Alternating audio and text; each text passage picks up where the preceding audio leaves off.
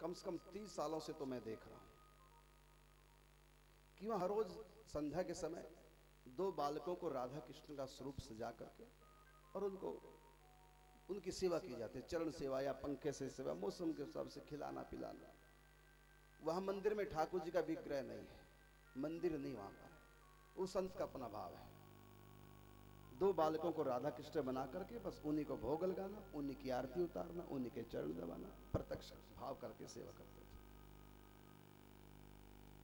जबकि मैं घटना सुना रहा हूँ ये तब, उस समय जो बालक थे, राधा कृष्ण जो बनते थे तो नंद गाँव का बालक जो कृष्ण बनता था और चिकसोली गाँव का बालक जो राधा रानी संध्या के समय हम रोज बरसाने की परिक्रमा करते तो सागरी खोर के ऊपर से वहाँ दर्शन करते ठाकुर जी श्री जी के। और कुछ ना कुछ मैं बना करके आश्रम से ले जाता था ठाकुर जी के भोग लाने के लिए।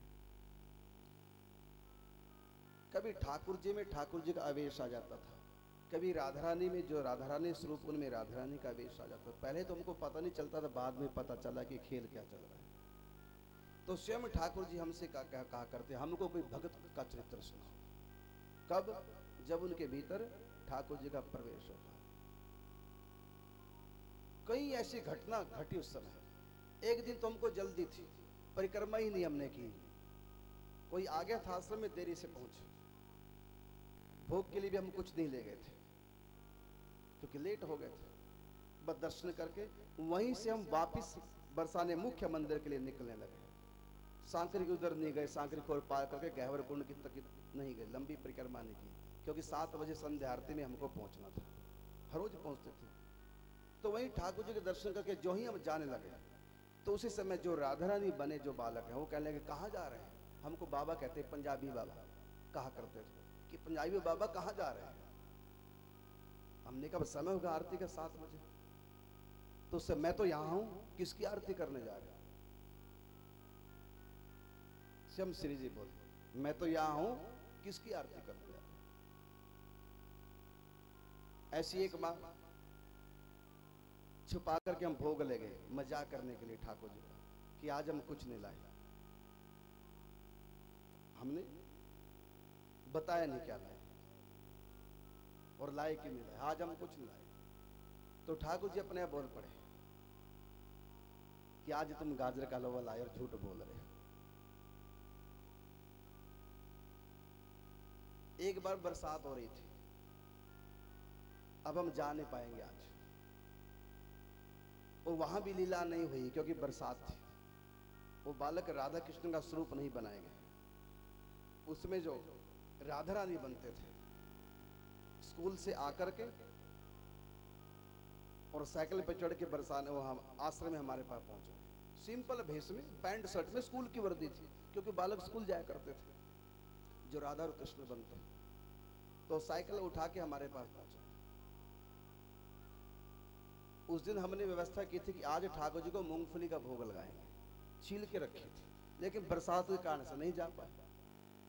तो स्वयं श्री जी ने कृपा की। उस बालक में श्री जी का आवेश आया साइकिल उठाया, हमारे पहुँच बाबा, आज तो बरसात का मौसम है, हमारा मन मूंगफली खाने का है। ऐसे ऐसे ठाकुर जी खेल करते तो उस समय ठाकुर जी, श्री जी हमसे अक्सर कहा करते, हमको भक्तों का चरित्र सुना फिर जब हम भगत का चरित्र सुनाते, ऐसे नहीं सुनाते कि ठाकुर जी ने ऐसा किया, वो ठाकुर जी के लिए रोया फिर ठाकुर जी प्रकट हुए। ऐसा कथा हम ठाकुर जी को नहीं सुनाते थे। ऐसे सुनाते थे, फिर आपके लिए बड़ा व्याकुल हुआ। फिर रोया, फिर आपने उसको बंसी सुनाई, फिर और व्याकुल हो गया कि आप दर्शन क्यों नहीं दे रहे? फिर प्यारे आप प्रकट हो गए उनके सामने। फिर ठाकुर जी खूब खिलखिला के हंसे।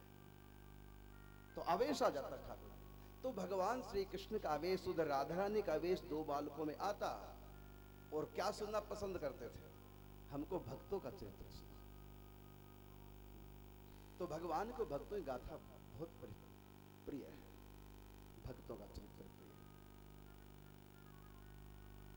तो मैं बता रहा था, भक्त कौन है? जो नाम जब पूजा पाठ, चिंतन, त्याग, तपस्या करता, वो भक्त नहीं है। भक्त जैसा जिसका स्वभाव है। ये पूजा पाठ, ये तपस्या, ये जप तप, ये तो रावण भी करता है। हिरण्यकश्यप भी खूब तपस्या कर लेता है। और ऐसी तपस्या करता है कि ब्रह्मा को प्रकट होना पड़ गया। रावण ऐसी तपस्या करता है कि ब्रह्मा को प्रकट होना पड़ गया। कैसा कर्मकांडी था कहीं भी कोई त्रुटि नहीं थी इनकी तपस्या भी साधना पे। त्रुटि होती तो ब्रह्मा जी ना आते ब्रह्मा जी को आना पड़ा। कितना विधि विधान से उसने तपस्या की थी। योग किया था, तप किया था, जप किया था, ब्रह्मा को आना पड़ा। लेकिन उसके बाद भी रावण को कोई भगत कहने को तैयार क्यों? स्वभाव बढ़िया नहीं था। और एक ऐसा राक्षस जिसने तपस्या नहीं की, योग नहीं किया, जंगलों में नहीं गया, रहा घर में था राक्षस और भगवान की प्राप्ति। हो बोलो, कौन था राक्षस? भागवत में, सातवें स्कंद में कथा उनकी, उस राक्षस की। बोलो, है? भागवत जी, सातवा स्कंद, एक राक्षस की कथा है, जो पाँच साल का था तभी से भगवान की भक्ति में लग गया, और नरसिंह भगवान ने प्रत्यक्ष दर्शन दिए। हाँ प्रहलाद, ये राक्षस है ये प्रहलाद? हिरणा कश्यप का बेटा है, राक्षस का बेटा है। राक्षस घर में पैदा हुआ है। ये राक्षस ही है। लेकिन कोई राक्षस कहेगा, प्रहलाद को। प्रहलाद के स्वभाव देख करके उसकी भक्ति देख करके लोग भूल ही गए कि राक्षस भी है। राक्षस शब्द हटके वहाँ लग गया, भक्त। जबकि राक्षस खानदान में पैदा हुआ। ऐसे विभीषण विभीषण कौन है? राक्षस है। सूपनखा का भाई है। कुंभकर्ण का, रावण का भाई है, राक्षस है विभीषण। लेकिन विभीषण के लिए तब भी कोई राक्षस शब्द प्रयोग नहीं करता, क्यों? इनका स्वभाव मीठा था, पवित्र स्वभाव था। तो भक्त जैसा हमारा स्वभाव होना चाहिए। तो गोस्वामी तुलसीदास जी रामायण में लिखते हैं, सरल स्वभाव न मन कुटलाई यथा लाभ संतोष सदाई सब ही मान प्रद आप अमानी, मोहि प्राण सम अस मम बानी गोस्वामी तुलसीदास जी द्वारा लिखा है तो चौपाई रामायण। भगवान कहते हैं, जो सबका मान करे, स्वयं अभिमान नहीं करता। ऐसा जिसका स्वभाव है, मोहे प्राण सम। राम जी कहते हैं, मोहे प्राण सम अस मम बानी ये मेरी वाणी है क्या? वो व्यक्ति मुझको प्राणों के समान प्यारा है। कौन व्यक्ति? जो सबका सम्मान करे और कभी अहंकार ना करे। ऐसा पवित्रशील जिसका स्वभाव है, ऐसा मेरा भक्त मुझको प्राणों के समान प्रिय है। तो चाहे रामायण हो, चाहे वो गीता जी है, चाहे भागवत जी है, जहाँ भी भगवान ने भक्तों को अपना प्रिय बताया तो किसके कारण से बताया कि उनका स्वभाव ऐसा है? तो भक्त माल चित्र किसी भी भक्त का चित्र उठा के पढ़े कोई भी धार्मिक पिक्चर देखना। धार्मिक पिक्चर का जो हीरो होता है, उसका स्वभाव जैसा होता है। वैसी स्वभाव हमारा होना चाहिए। पूजा, कोई व्यक्ति अच्छा या बुरा है तो स्वभाव से अच्छा स्वभाव से बुरा। हम किसी को पूछता तुम्हारी बहू कैसी है? अच्छी है कि बुरी? तो इसका अर्थ ये नहीं है कि वो सुंदर है कि कुरूप है। इसका अर्थ ये नहीं निकलता कि वो कुछ माल लेके आई कि नहीं लेके आई ये इसका अर्थ नहीं अच्छी कि बुरी। हम कहते हैं, तुम्हारी बहू घर में आई नई नई बहू अच्छी है कि बुरी है? तो इसका अर्थ क्या है? इसका अर्थ है कि उसका स्वभाव कैसा है? यही तो उसका अर्थ कुछ और अर्थ कोई व्यक्ति अच्छा या बुरा केवल स्वभाव से होता और किसी से नहीं। इसी प्रकार अगर कोई भगत है तो स्वभाव से भक्त है, लेकिन हम स्वभाव अपना ठीक नहीं रखते। बात बात पे चिड़क जाते हैं। क्षमा नहीं, सहन शक्ति नहीं। और कहा तो भक्तों का जीवन देखो, कितने कितने दुख उठाए, संकट उठाए। फिर भी कोई गिला शिकवा नहीं। ऐसा नहीं कि भक्तों से गलती नहीं होती, भक्तों से गलती होती। मीरा से गलती हुई। ध्रुव से भी गलती हुई। भागवत इसका प्रमाण है। सती से गति गलती हुई। इसका भी भागवत प्रमाण है, रामायण प्रमाण है। युधिष्ठिर से भी गलती हुई। जुआ खेले थे, गलती की। भीष्म पितामह से भी गलती हुई, दुष्टों का साथ दिया। द्रौपदी से भी गलती हुई, अंधे की संतान, अंधी ऐसा व्यंग शब्द बोला था। मीरा से गलती हुई कि मैं किसी दुर्गा वुर्गा को नहीं मानती। मैं नहीं पूजा करूँगी। कृष्ण के सिवा किसी की। ये गलती की थी उसने और इसी गलती से ससुराल वाले उसके दुश्मन बन गए थे। सती से गलती हुई। मैं राम को भगवान नहीं मानूँगी। पति से आके झूठ बोला। सत्य दंड भी मिला। सीता जी से गलती हुई थी। लक्ष्मण को कपटी कह दिया था। मार्च वाले प्रसंग में जब सीता हरण हुआ था। तो देखो, इतनी बड़ी बड़ी हस्तियों से गलतियाँ हो रही और सबको दंड भी मिला आप अपनी गलती का। तो कभी कभी स्वभाव में कोई दोष आ सकता, कोई गलती हो सकती है तो भगवान कहते हैं, वो तो मैं परिमार्जन कर दूँगा, मैं छोड़ूँगा नहीं। लेकिन जिसका पूरा का पूरा स्वभाव ही गलत हो, उसको मैं कभी पकड़ूँगा नहीं। जब चित्र बनाया जाता है तो उस चित्र में बनाकर कोई गलती, कहीं त्रुटि दिखाई देती है तो उसको पहुँच करके दोबारा से सेट ठीक कर दिया जाता है। आँख में कहीं गलती है, कान में गलती, किसी सीन में थोड़ा सा कहीं त्रुटि है तो उसको ब्रश से पेन से, पेंसिल से ठीक कर दिया जाएगा। जहाँ पूरा ढांचा ही खराब हो चुका है पिक्चर का तो वहाँ फिर ठीक नहीं किया जाता, उसको पूरे को मिटाकर दोबारा बनाया। जाता है तो भगत के स्वभाव में कोई थोड़ी बहुत ही त्रुटि है, भगवान थोड़ा सा दंड देकर के सुधार देते हैं। लेकिन जहाँ पूरा ही का पूरा ढांचा ही बिगड़ा हुआ है तो भगवान कहते हैं, अब की बार नहीं मिलूँगा, अब की बार तो उसको मिटाऊँगा चित्र को, फिर दोबारा जन्म दूँगा इसका। दोबारा से चित्र बनाओ। फिर सत्संग की सत्संग की, उससे तोलिका से, फिर दोबारा से पेंटिंग, इसको तराशना तो थोड़ी थोड़ी गलती सब भक्तों ने की थी। और भगवान ने सब दंड देकर सबकी गलतियों को सुधारा, सबको अपना कर का भले युधिष्ठ ने जुआ खेला, तब भी भगवान युधिष्ठिर को छोड़ा द्रौपदी ने व्यंग शब्द बोले थे दुर्योधन के लिए। उसका दंड भी मिला चीरहरण के रूप में। लेकिन तब भी द्रौपदी को भगवान ने छोड़ा नहीं। मीरा ने दुर्गा का तिरस्कार किया था। उसका दंड भी मिला ससुराल की तरफ़ से विरोध। लेकिन तब भी श्री कृष्ण ने उसको छोड़ा नहीं।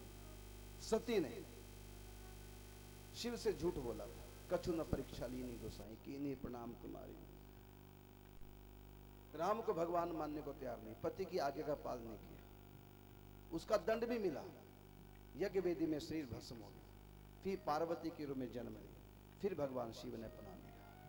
भगत से कहीं कोई त्रुटि हो जाएगा तो भगवान उसको सुधार देते हैं।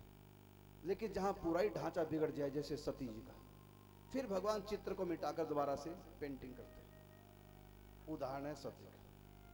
सती का पूरा ढांचा बिगड़ चुका था। एक नहीं बार बार गलती कर रही बार बार गलती कर रही तब भगवान ने कहा तो चित्र ही सारा बिगड़ गया।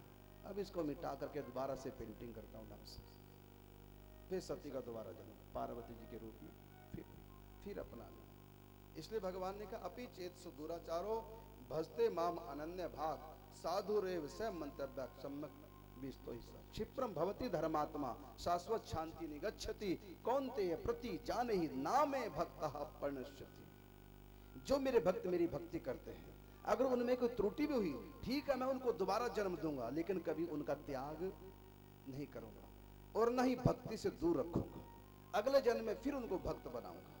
भक्ति बीज पलटे नहीं, चाहे बीते जन्म अनंत, ऊंच नीच कुल उपजे रहे संत के संत अब देखो, तुलसीदास जी से त्रुटि हुई थी, गलती हुई थी। जब गुरुदेव ने कहा था कि नर हरि कंचन कामनी इनते रहिए दूर गुरु कह दे कि गृहस्थ बनो तो ठीक है, बन जाओ। गुरु कहीं एक ही जगह चार विवाह कर लो तो कोई बात नहीं। लेकिन जब गुरु ने कहा, नहीं करना विवाह। गृहस्थ को गुरु कहते हैं, पर स्त्री से बचो। लेकिन ये नहीं कहते कि अपनी स्त्री से भी बचो। पर स्त्री से। लेकिन इसको ये नहीं कहा था कि पर नारी से बचना, बल्कि कहा था, नारी मात्र से बचना, विवाह करना ही नहीं। लेकिन गलती हो गई। गुरु की अवहेलना हो गई। अब इन्होंने तीर्थ यात्रा प्रारंभ की। तीर्थ बहुत ज़रूरी करने चाहिए। तीर्थ करने से जाने अनजाने जो हमसे पाप बनते हैं, उन पापों का परिमार्जन होता है। तीन कारणों से व्यक्ति पाप करता है। रजगुण के कारण से सतगुण के कारण से तमो गुण के कारण से, तीनों गुणों से, ये क्योंकि तीनों माया के गुण हैं। तीन प्रकार के व्यक्ति पाप करते है। तो इन तीन प्रकार के पापों से पार होना चाहो तो रथ पर बैठो। इन तीनों प्रकार के पापों का निवारण हो जाए। कौन से रथ पर? तीरथ पर। ती का मतलब तीन। तीन पापों से बचने के लिए। त्रिरथ। इसी का बन गया तीर्थ शब्द। तो तीर्थ इसलिए किए जाते हैं कि जो जाने जाने पाप बनते हैं, वो पाप कट जाए। भक्ति में मन लगे। तीर्थ किए बिना भक्ति पुष्ट नहीं होती। इसलिए तीर्थ ज़रूर करने चाहिए। भागवत महात्म में कथा थी। जमुना के किनारे भक्ति मूर्छित पड़े हैं, उनके पुत्र ज्ञान वैराग्य भागवत महात्म पढ़ के उठाओ, देखो पढ़ के। वहाँ पर लिखा हुआ है कि कितनी देवियाँ चमर से, पंखे से भक्ति की सेवा कर रही थी। पूछा देवी श्री नारद ने भक्ति से, ये कौन देवी हैं? तो भक्ति महारानी कहती है ये गंगा है, ये जमुना है, ये सरस्वती है, नर्मदा, कृष्णा, ताप्ती, कावेरी, महानदी, ब्रह्मपुत्र, ये सब तीर्थ हैं। ये मेरी सेवा कर रहे हैं। तो तीर्थ भी भक्ति की सेवा करते हैं। तीर्थों से भक्ति पुष्ट होती है, संतुष्ट होती है। तीर्थ भक्ति की सेवा करते हैं। इसलिए तीर्थ यात्राएँ ज़रूर करनी चाहिए। जब भी मौका मिले तीर्थ यात्रा का, ये ना सोचो हम तो हो आए अयोध्या, हम तो हो आए बनारस, काशी, हम तो हो आए यहाँ। नहीं। बार बार जब भी मौका मिले बार बार भोजन के लिए तो कभी नहीं कहते, हमने तो खा लिया, अब क्या खाना? हर तीन घंटे बाद खाता हम तो सोते ही हैं, हर रोज सोते हैं, अब क्या करना, अब सो करके। फिर भी हर रोज सोते तीर्थ के लिए कहते हैं, हम तो कर ही आए, तीर्थ वहाँ तो हो आए बार बार तीर्थ करो। तीर्थ कर, देखो तीर्थों की इतनी महिमा त्रेता युग में। तीर्थों की महिमा सुन करके दोनों पति पत्नी अंधे अंधी, उनके मन में भी आ गया कि हम भी तीर्थ करें। श्रवण के माता पिता अंधे भी तीर्थ कर रहे हैं। और हम आँखों वाले होकर भी तीर्थ नहीं करेंगे तो। तीर्थ यात्रा ज़रूर करनी चाहिए। अब सत्संग के द्वारा गोस्वामी तुलसीदास जी को पता चला कि मुझसे जो गुरु अवज्ञा हो गई वो पाप मेरा कटेगा तीर्थ यात्रा करने से। चौदह साल, दस महीने, सत्ताईस दिन तीर्थ यात्रा करते रहे फिर वापस लौट के आए थे।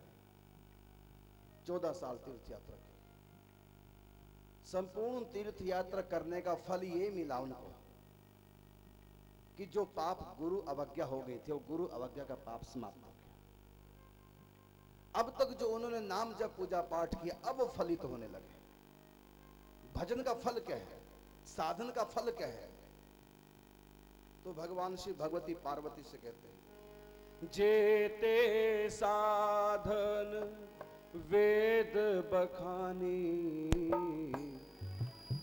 सब कर फल हरि भक्ति भवानी।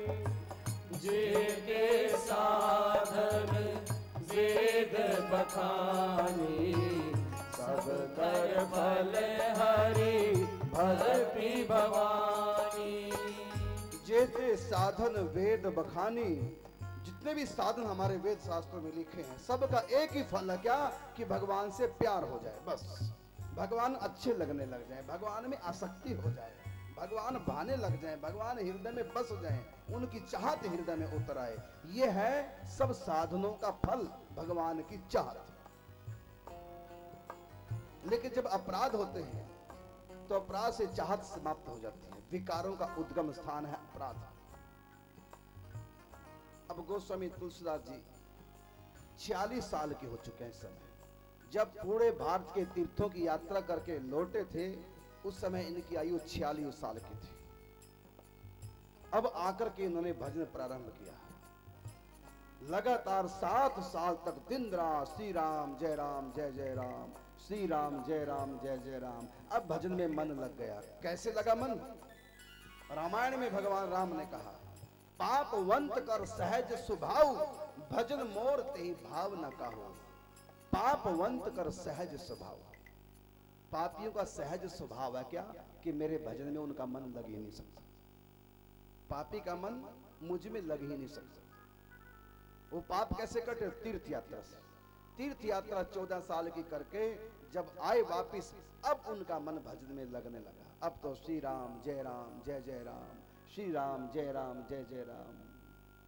लगातार सात साल तक दिन रात एक कर दिया।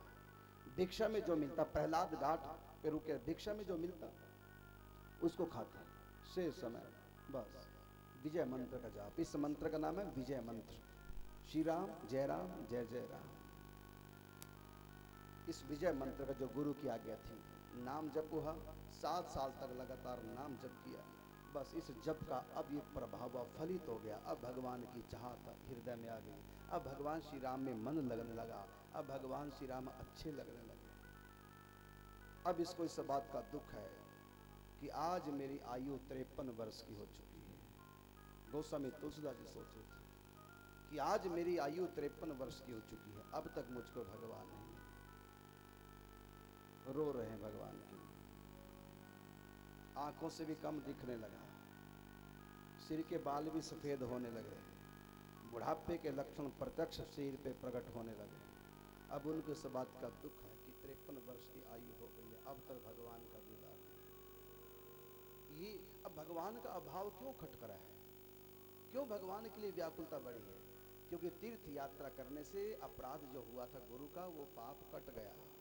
और सात साल लगातार नाम जप चला उसी नाम जप के प्रभाव से अब भगवान की चात हृदय में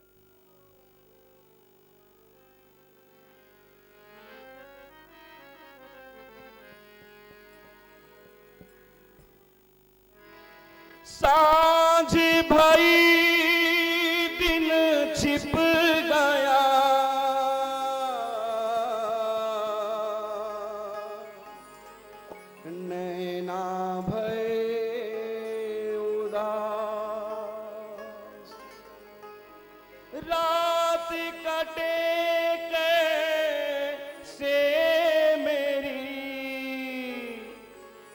राम मिलन